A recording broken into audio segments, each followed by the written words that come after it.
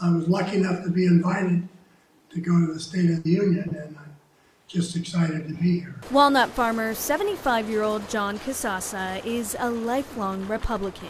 I just can't put up with what's going on. They're, they're not the Republicans that, uh, that I grew up being and, and that I believe in. If he looks familiar to you, that's because you've seen him before. Casazza appeared in one of Josh Harder's campaign commercials before the election. I'm a Republican, but I can't vote for Jeff Denham. Casazza's family has been growing walnuts and distributing them across the world since the 70s. And today, he traded a day at his walnut plant in Hughson for a day at America's capital with the man he helped get elected. We wanted to highlight some of the real challenges that are happening to farmers in San Ynez County.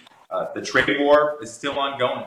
The price of walnuts has halved. Folks are really hurting, we need to make sure that we're trying to provide as much tariff relief as possible. Congressman Josh Harder, a freshman Democrat, invited Casazza to be his guest at President Trump's State of the Union address. Anything that happens in the next two years can only happen with both parties working together. We have uh, President Trump still in the White House. We have a Democratic House. We either we find a way to work together or we don't get anything done. And now that Harder is in office, sitting in on his first State of the Union address, this farmer is looking forward to working with him on issues important to farmers. In Hughson, Lena Howland, ABC 10 News.